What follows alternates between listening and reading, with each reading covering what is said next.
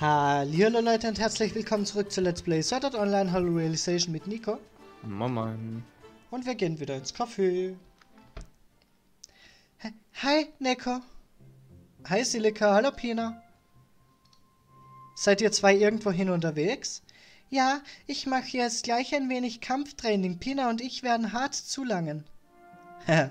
Fein. Es ist eine gute Idee herauszufinden, finden, wie ein Schwertskill die Bewegung danach beeinflusst. Hey, hey, warum kommst du nicht mit uns zum Training?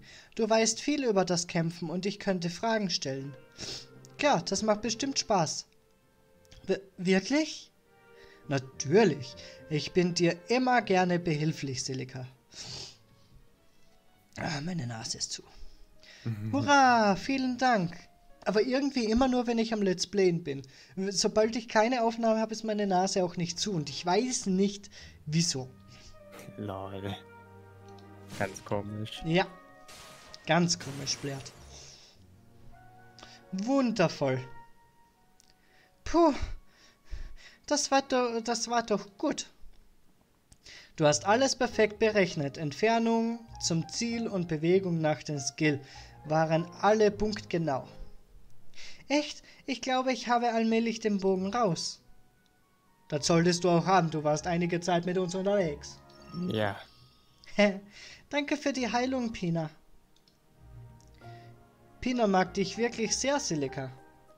Hm, wir haben wirklich eine starke Bindung. Das ist, weil ihr so nett seid. oh, wir sind wirklich nah am Wald schon. Von den Monster gehört, die dort leben? Was soll mit denen sein? Sie sehen aus wie schöne Rehe. Ich, äh, ich gab ihnen einmal etwas zu essen und sie fanden und sie fraßen mir direkt aus der Hand. Wow, sogar Monster wie du. Hä?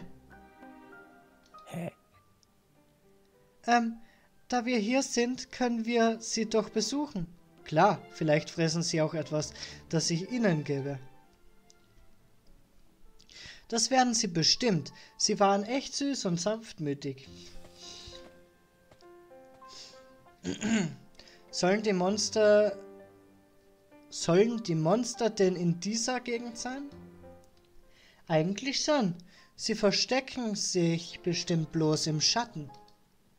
Sieh mal da, dort ist eins. Oh wow, sie sind also nicht aggressiv. Kein bisschen, solange wir ihnen nichts tun, greifen sie uns nicht an. Also, ob ich auf die Idee käme, als ob ich auf die Idee käme, solch eine, solch einen lieben kleinen Röhrchen etwas zu tun. Wurdet mir, wurdet mich, mhm. wundert mich nicht, dass du Tierbändigerin bist. Die Tiere können froh sein, jemanden mit äh, deinem Mitgefühl zu haben. Okay, probieren wir es mit Füttern. Hier, ich habe immer diese kleine Leckerlis dabei. Vor, aber Vorsicht, Pina liebt sie auch.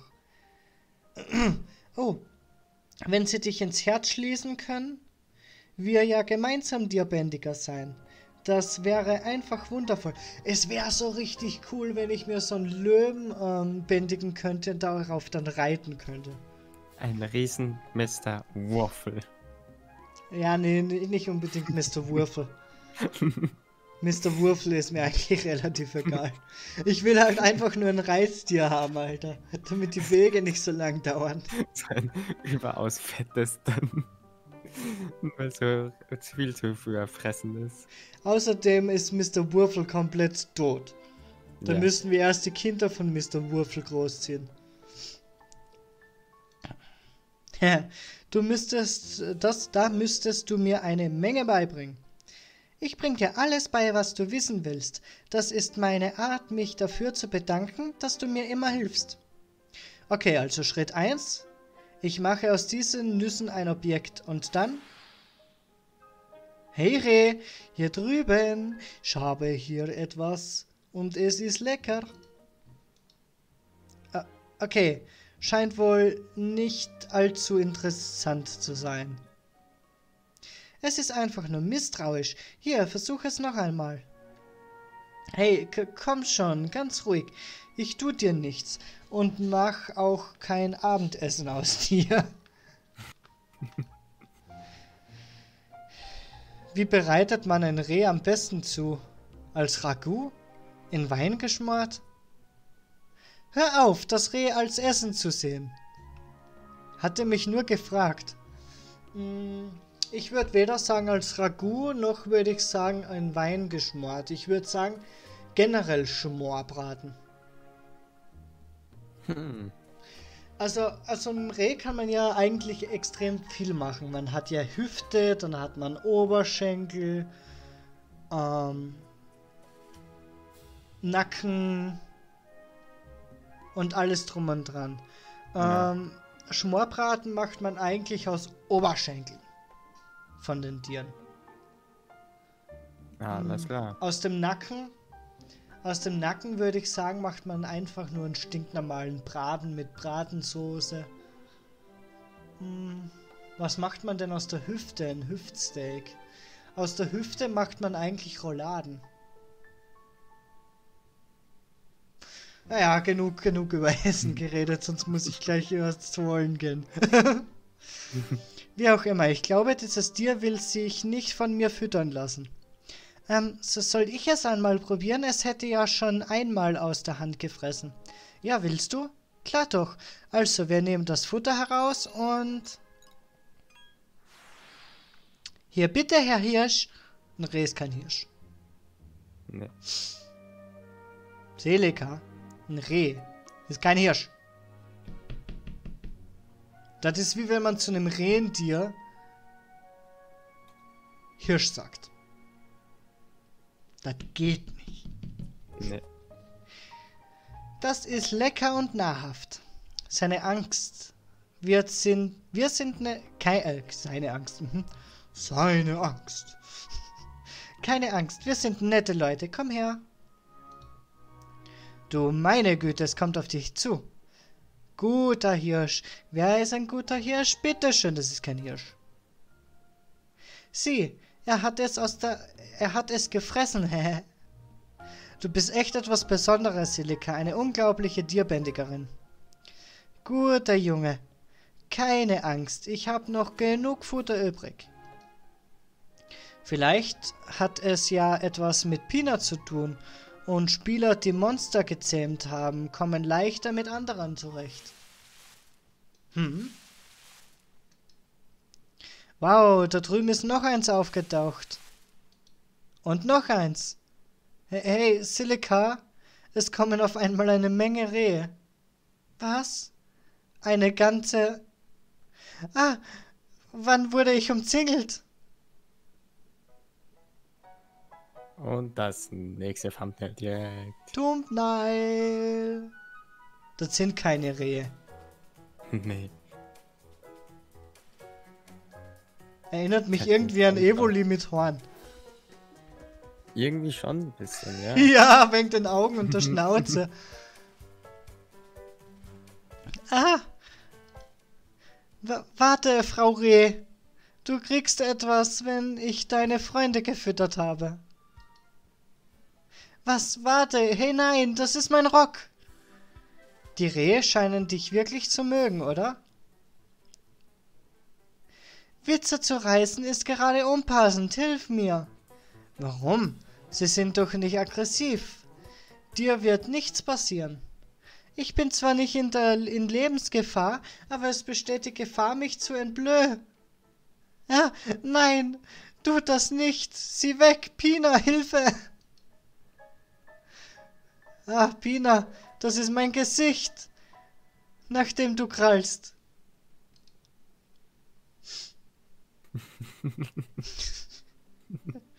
Puh, ich konnte entkommen. Ich musste lediglich Futter auf dem Boden verstreuen. Das war ein Geistesblitz. Gut gemacht. Sie mussten wohl am Verhungern sein, aber obwohl sie so lieb waren, hatte ich keine Lust, meinen Rock auffressen zu lassen. Keine Ahnung, ich bin mir ziemlich sicher, dass Monster dich einfach lieben, Silika als ob sie verstehen könnten, was in deinem Kopf vorgeht. Meinst du das wirklich? Übrigens, warum hat Pina nach, meinem, nach meinen Augen gekrallt, während du von Rehen umzingelt warst? Das ist doch verrückt. Bina hat ihre Arbeit gemacht und mein Leben und meine Würde gerettet. Du weißt genau, was ich meine. Danke, Bina. Keine Ahnung, warum Silika mir die Augen auskratzen wollte. Aber ich schätze, ich sollte das einfach vergessen.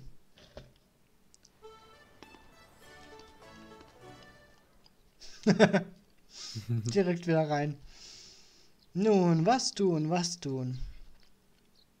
Moment, ist das nicht Liz? Hey! Oh, hallo, was für ein Zufall. Was machst du gerade? Ich komme gerade von einer Materiallieferung zurück. Das war ein harter Tag heute, aber die Waffen werden gut. Hast du etwas Seltenes gefunden? Hm, da ist dieses Monster namens verrückter Mondhase mit einer witzigen Drop Rate für extrem seltene Gegenstände. Aber es ist unglaublich schnell. Ein echter Flitzer. Schon die Jagd ist extrem schwer und dann erst das Anvisieren. Wirklich? Hm, davon habe ich noch nie etwas gehört. Hört sich aber nach einer echten Herausforderung an. Oh Mann, Hätte fast vergessen, dass heute der letzte Tag ist. Erstens, wow. Zweitens, wie bitte?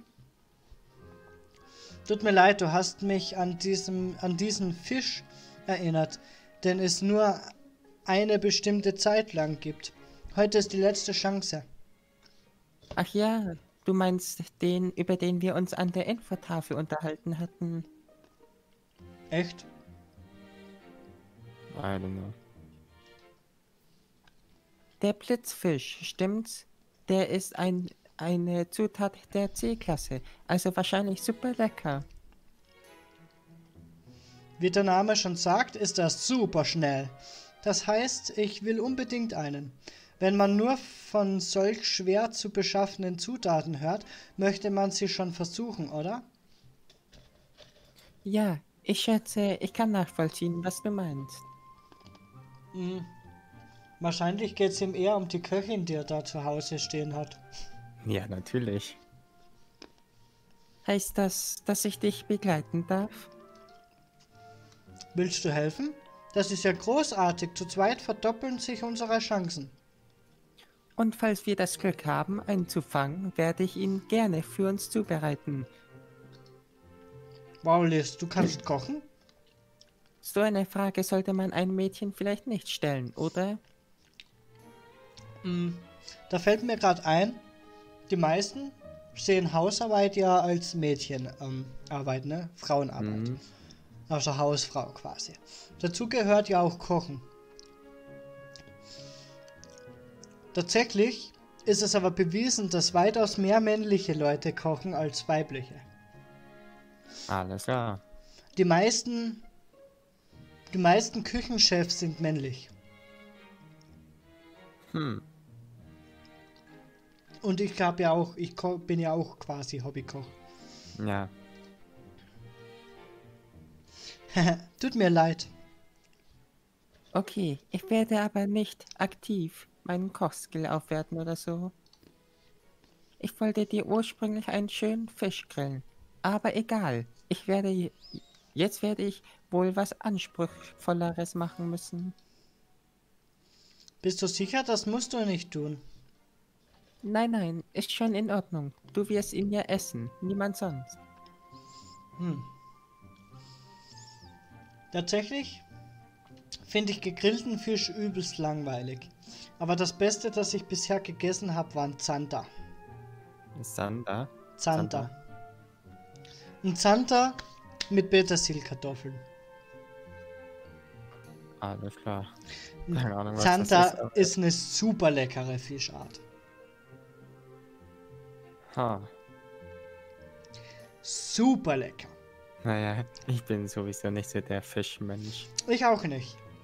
Aber nachdem ich den Zander gegessen habe, bestelle ich den nur noch, wenn ich dort essen bin. Das Problem ist aber, der Fisch ist so klein, da brauche ich, brauch ich drei Fische. Wahrscheinlich sogar viel mehr als drei. Wie konnte es nur so weit kommen? Hehe. Okay, na los, fangen wir endlich an. Hab Hunger. ich habe einen am Haken. Komm schon, Blitzfisch. Na, schon wieder daneben. Es ist ein Bana Bannerfisch. Der Klasse. Diese Blitzfische sind echt nicht leicht zu fangen. Der ganze Spaß beim Angeln ist das geduldige Warten, schätze ich. Hm. Naja, so lange muss man eigentlich gar nicht warten. ich war schon angeln. Ich habe Karpfen Mhm. geangelt. Hast du schon mal erzählt? Echt? ja. Ist schon ewig, ja. Ja.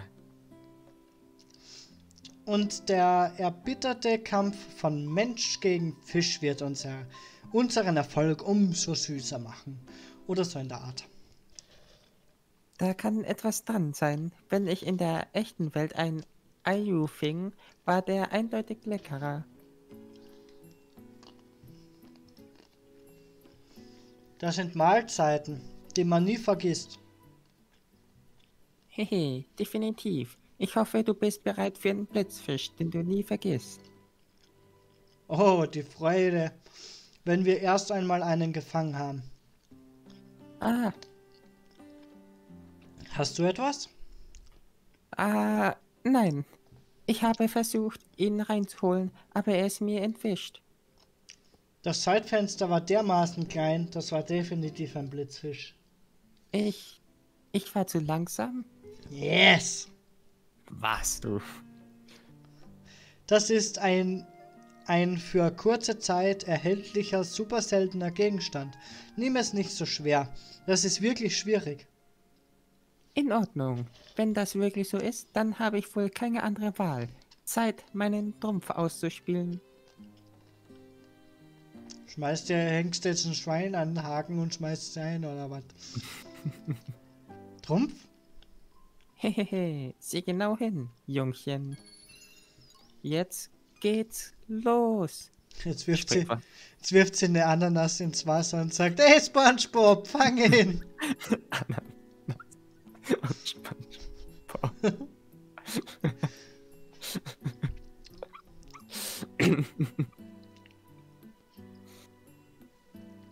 Wa- Was ist gerade passiert? Jawohl. Staune ehr- ehrf ehrfürchtig ob des neuen St äh, Stils. Das sind Rock und Stiefel eines Gottes. Oh, du hast etwas Rüstung abgenommen. Äh, ja. Da, das ist die Anpassungsoption für die Freizeit. Normalerweise geht es um Kosmetik und solchen Graben.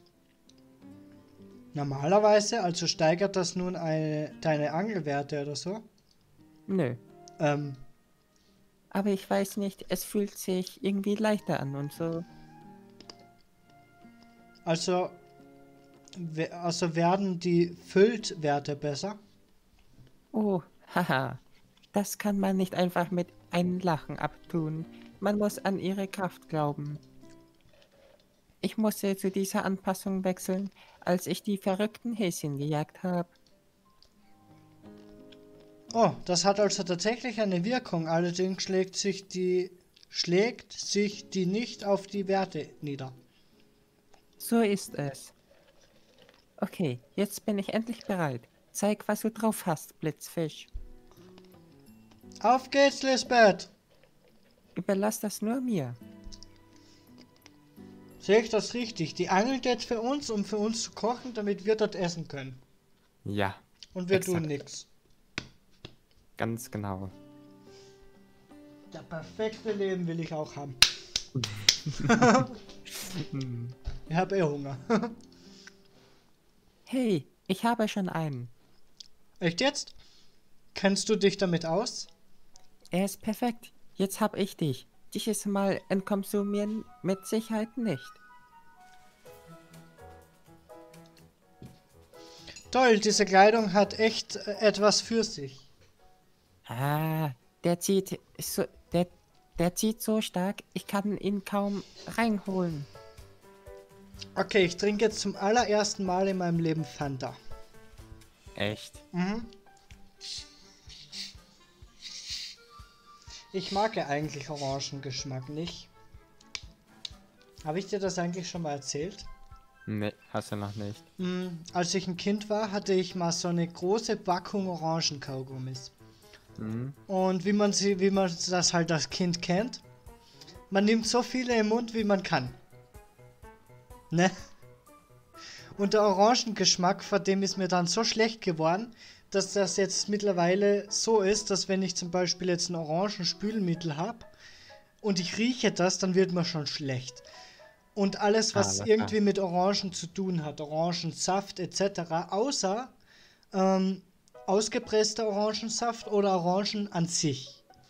Aber alles, was irgendwie so künstlich orangig schmeckt, ne? Mhm. Davon wird mir schlecht. Und deswegen habe ich bisher noch nie Fanta getrunken. In Japan gibt es ein Bananenfanta. Das schmeckt nach Banane und nicht nach ähm, Orange. Und das soll angeblich super, super gut nach Banane schmecken. Na dann.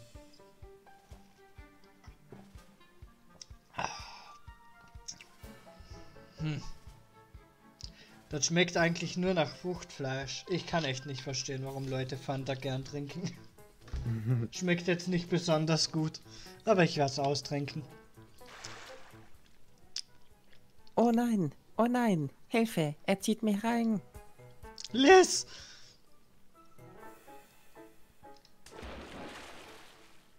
Liz, geht es dir gut? Hä? Nein, ganz und gar nicht. Weißt du, wie tief das ist und wie kalt? Okay, alles wird gut. Beruhig dich. Als erstes musst du deine Rüstung ablegen. Bitte was? W warum das denn? Spanner.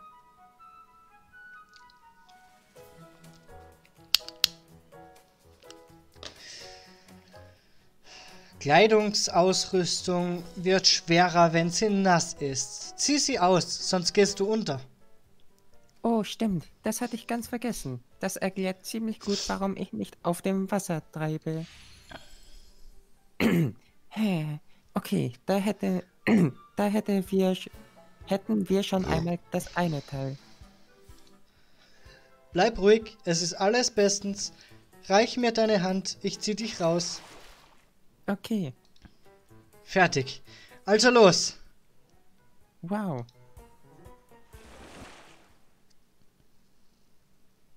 Und das nächste Thumbnail. Jetzt ist es schwierig, ob das oder äh, mit Silika. Äh, Das mit Sileka. ähm, einfach weil ich Lisbeth äh, unter allen weiblichen SAO-Charakteren mit Abstand am wenigsten mag. Ähm, Ah. Aber ich frage mich halt jetzt, was da dran spannend sein soll. Ich meine, guck dir das mal an, die ist ja quasi noch angezogen. Andere Mädels rennen so in der Freizeit rum. Mhm. Und das ist wirklich nicht gelogen, das ist wirklich so. Also, ich meine, Ja. sie haben halt Schuhe an und Socken. Ah, ah, okay, alles klar.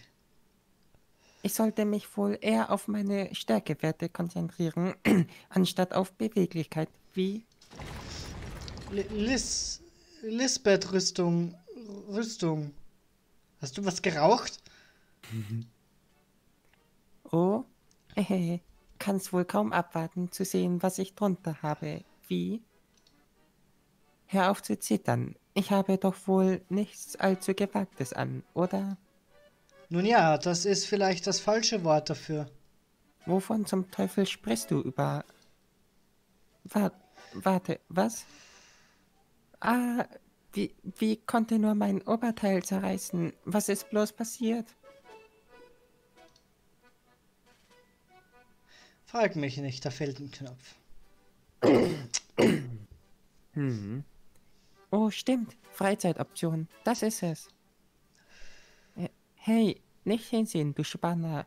M Moment, ich krieg das hin. Wage es ja nicht zu linsen.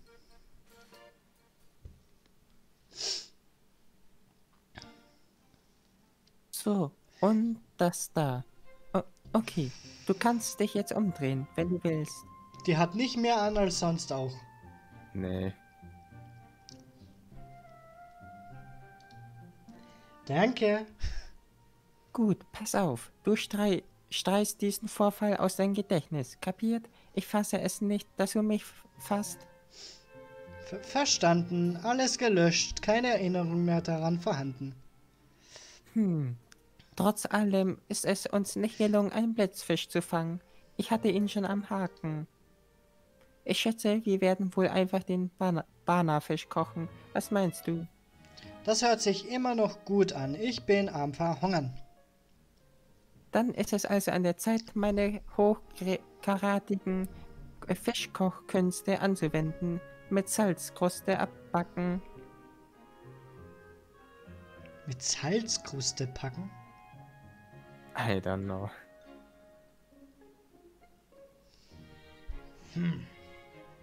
Ich verstehe es nicht. Und ich bin Koch. Hobbykoch. Und ich verstehe es nicht. Ich auch nicht. Also, vielleicht, vielleicht meint sie, dass sie den Fisch erst blanchieren will. Blanche, was? Blanchieren ist, ähm, du legst das Essen in Salzwasser ein. Für eine gewisse Zeit. Ach, so nennt man das. Damit die Feuchtigkeit, pass auf, das macht man, damit die äußere Feuchtigkeit ähm, quasi weg ist, weil Salz ist, äh, trocknet ja. Mhm. Und wenn man den Fisch dann brät, dann kommt die Flüssigkeit, die im Fisch noch vorhanden ist, raus und die läuft dann die ganze Zeit über den Fisch und bildet damit dann eine knusprige Außenhülle. Alles klar. Das ist, äh, das kann man auch künstlich erschaffen, indem man zum Beispiel jetzt äh, einen Fisch in die Pfanne haut und dann mit so einem Küchenpinsel die ganze Zeit über die Oberfläche ähm, mit Wasser streicht. Dann wird das auch ein bisschen knuspriger. Ah, Und so kann man das ohne Pinsel machen. Ganz easy.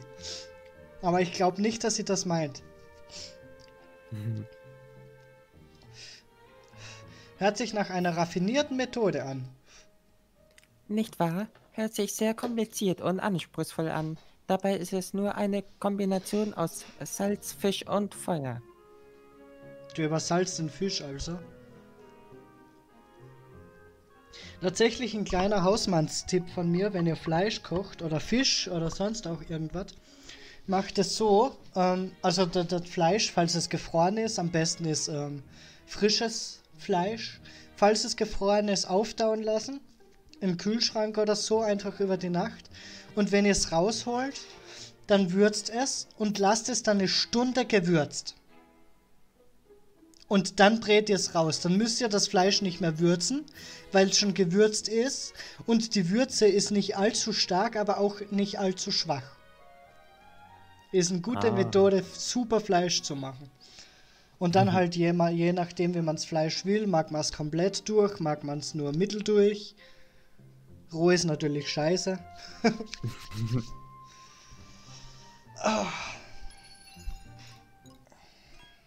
Salz und Fisch und Feuer. Hier. mit einem Ofen ist die Erfolgsrate zwar höher, aber mit dem Lagerfeuer geht es auch gut. Du gehst ja ziemlich locker mit dieser anspruchsvollen Kocherei um. Boah, meine Stimme kackt gerade voll ab. Nicht, nicht mit den Details übertreiben. Letztens äh, bin ich durchs Tokyo Dark Let's Play fast heiser geworden, Lol. weil ich so viel zu lesen hatte.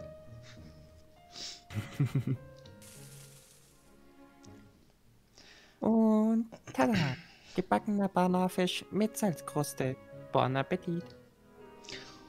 Okay, hoffen wir das Beste. Kau schlug überleg, what the fuck? Oh, Und Liz, das. Das ist fantastisch. wirklich? Ja, perfekt gewürzt. Und auf dem Punkt. Er ist locker, zerfällt aber nicht. Und was ihn besonders lecker macht, wir mussten uns dafür abmühen, auch wenn wir ursprünglich etwas anders, anderes wollten.